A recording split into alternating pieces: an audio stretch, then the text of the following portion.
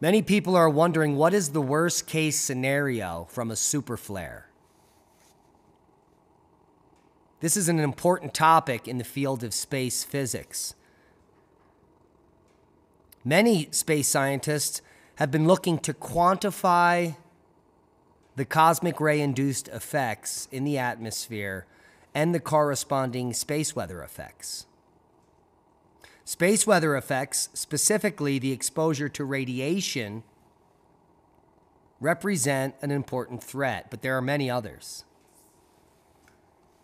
And over the last few years, scientists have learned a lot about these major superflare events or solar energetic particle events, SEPs. Now, we've been studying the sun with satellites for decades now. And we still don't know mechanisms for things like solar flares and coronal mass ejections, but we have some ideas. There are lots of peer reviewed studies on the human health associated with geomagnetic storms.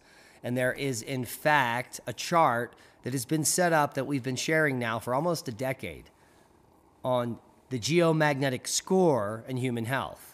There are geomagnetic storm risks, which means when the KP gets up above 7. There are cosmic ray risks when the KP sits at 0. There are also solar flare risks when large flares immediately send radio blackouts to Earth and potentially electron or proton storms. Now, based on some of the most cutting edge science, including the use of dendrochronology, which is tree rings, and the ice cores, scientists have been able to uncover several large events in recent history. And so far, three events have been detected unambiguously in beryllium 10, chlorine 36, and carbon 14 records. The most recent event is 990 3, 994, just over a thousand years ago. And then one of the biggest events, the Charlemagne event, and one of the most well known, is 774, 775. Both of these are AD. There is another large event at 660 BC, and then an extreme event 9,125 years ago or about 7100 BC. So, what we know in the last 9,000 years is there's been four major super flares, three of them happening just in the last 3,000 years. So, these events are much more common than once thought. Now, let's take a look at some of the papers on the risk assessments associated with these events.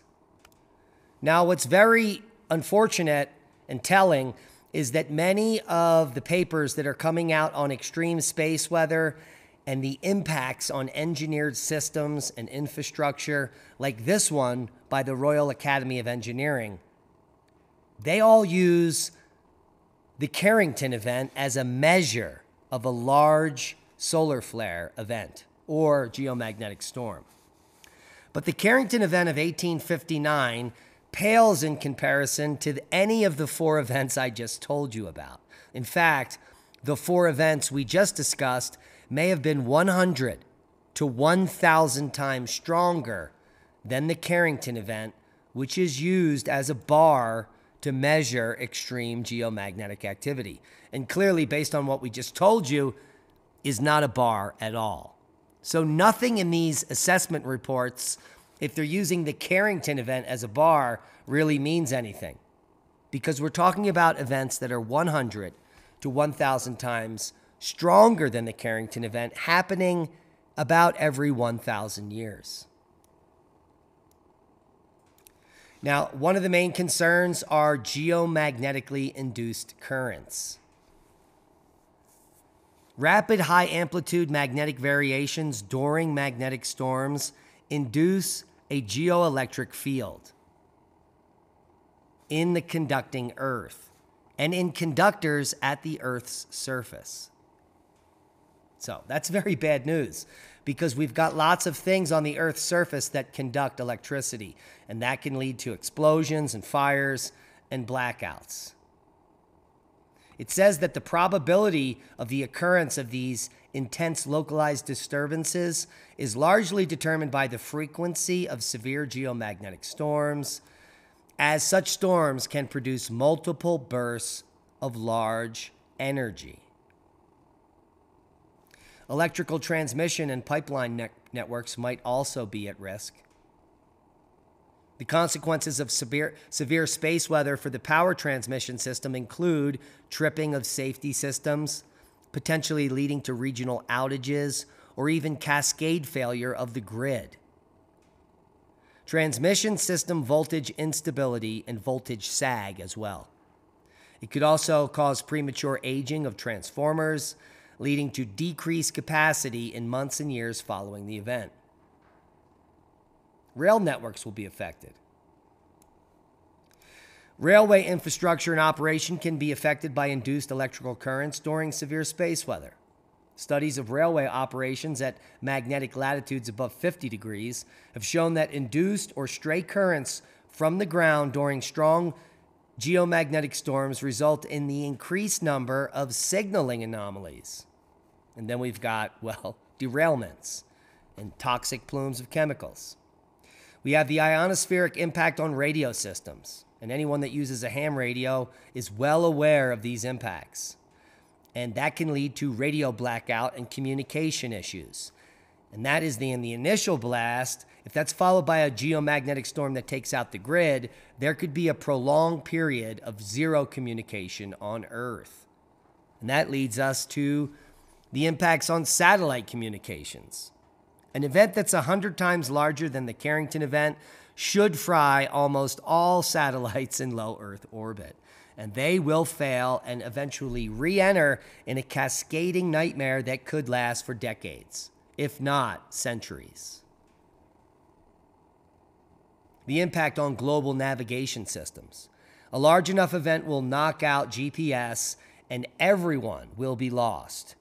Do you know how many planes are flying at a given time at any moment? There are, in fact, between 8 and 9,000 commercial flights flying above the U.S. at any moment. And that doesn't include personal aircraft, private aircraft, and the military. So let's just say it's around 10,000 at any moment. Planes that will lose GPS. And how many of those pilots can land blind? It will be a nightmare. HF radio communications will also be impacted. Propagation. Satellite operations. Well, if all the satellites are heated up internally and fry, we can clearly see that there will be impacts on satellite operations. And that's one of the key things they're talking about here internal charging.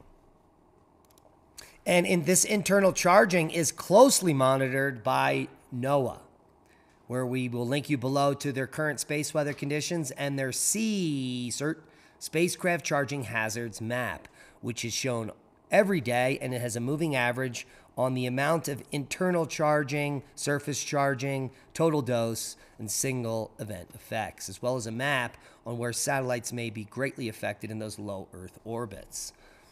So we can already see on small geomagnetic storms that are happening now some of the internal charging effects. And we did see Elon Musk lose a whole bunch of spacecraft that he, uh, part of the Starlink satellite network that he launched during a geomagnetic storm. There's also considerations on atmospheric drag. Space launches, we just discussed that, and losing vehicles if you launch at the wrong time. We also have to worry about space weather and atmospheric radiation and the human effects. So there are lots of considerations. And most of you know what those are. Let's say we do have a Carrington event. It will be a matter of a day and a half before we know the effects on the grid. And let's say there is some grid failure and the banks fail, There'll be no way to get money. People will be panicking. The anxiety level will rise because, well, unfortunately, the human population is not prepared for what's coming. But you are because you watch our channel and many other that are probably preparing you for worst case scenarios. This isn't the podcast to talk about preparedness, but you need backup energy, food, and a plan. That is the minimum. And if we're talking about long term effects, if the entire grid gets knocked out, if we're talking about an X1000, we will be knocked back to the Stone Age. The majority of people on Earth will die, and everything will be anew. But there is a, a rising threat that is not a solar flare. In a recent paper reassessing the past million years of neo impact cratering on Earth using high resolution digital topography, is quite scary. It shows that extinction level asteroid impacts could be far more common than we thought. And if you've been watching our radio show, Cosmic Catastrophe on Revolution Radio, Lee and I have concluded this multiple times from multiple angles. So, whether it's a space rock that suddenly shows itself, like the seven we've just recently discovered, and smashes into an ocean, or a solar flare that we can't predict either, one way or the other, something is coming to end the empire. We're not here to scare you, we're here to prepare you. The inevitable likelihood of a major geomagnetic storm happens during the equinoxes. If you watch the update on Oppenheimer, you know that. So that means spring and fall. And the major super flares we talked about the Charlemagne event, the 660 BC event, and the 7125 BC event all occurred on what appears to be the solar minimum of a cycle. So we do have preparation. And we do have some skills to predict when they may occur. I hope you got something out of the video. It certainly was a boom to knowledge. Subscribe to the channel if you haven't. Leave your questions below. And be safe. We love you. Support us on Patreon and share this video because we are shadow banned. Be safe.